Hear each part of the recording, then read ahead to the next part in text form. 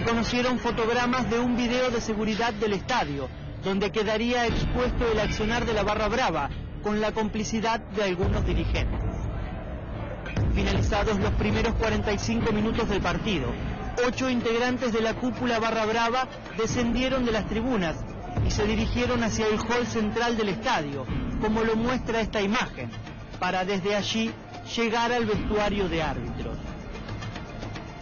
Paralelamente las cámaras captaron esta escena, donde Gabriel Riccio, encargado de la seguridad de River, habla en el interior del estadio con Francisco Vierniakowicz, alias Jajo, nexo entre la dirigencia de Daniel Pasarela y los borrachos del tablón. Esta otra imagen es aún más comprometedora. Muestra a Jajo Biernakowicz hablando de igual a igual con Martín Araujo, jefe de la barra brava de River, mientras sus laderos aguardan la orden para atacar y amenazar a la terna arbitral. Según la hipótesis de la justicia, Jajo le estaría comunicando a Araujo que solo podrían entrar por la puerta maratón debido a la custodia policial.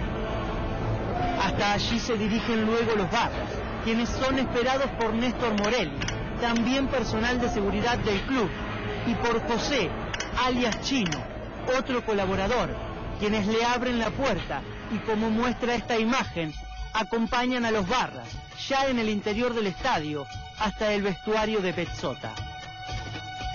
Lo que sigue es de público conocimiento.